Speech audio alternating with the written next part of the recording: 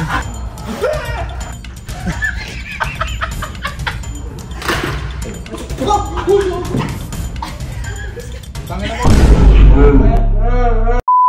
aksidente, nakaisip tayo ng malupit na kalokohan na naman ngayon, guys. So, napapait ko siya ng tubig, tas habang nagbe-vape. Tapos naisip ko lang na ilagay yung pusok ng vape dito.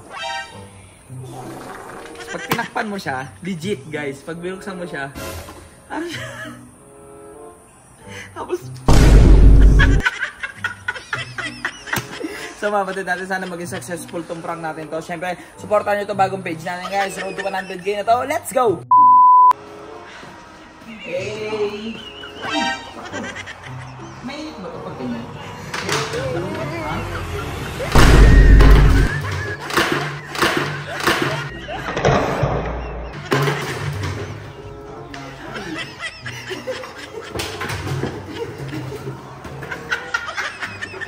Ko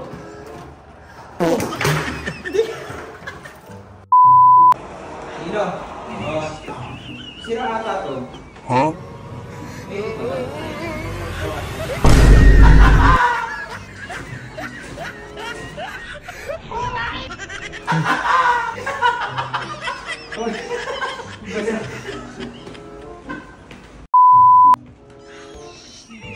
Yan, yan, yan. Maandar ba to? Pag ganito?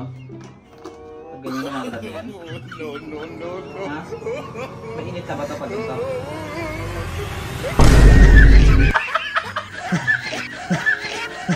Dalawang beses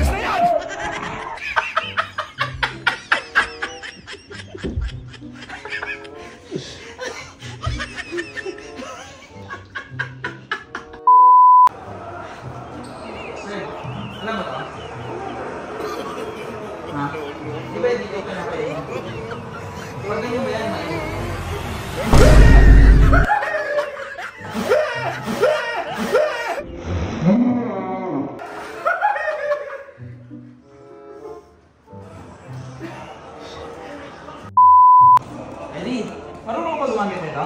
Siyempre. Siyempre. Hindi kasi parang sira eh. Pag ganyan mo mainit na yan.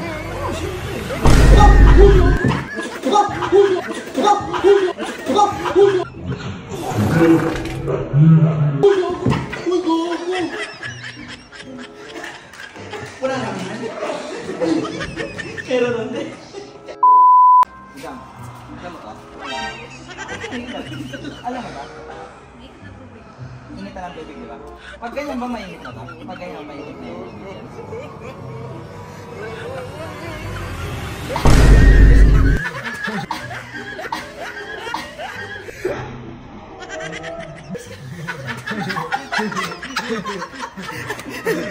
Alam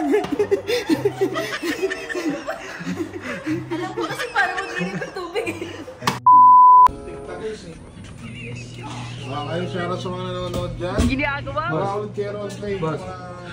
Boss. mo doon, miss ka na. Boss, alam mo to? Okay, pag ganito ba mainit ba yan? Pag ganyan. Panginoon ko, Pucho! Pucho! Pucho!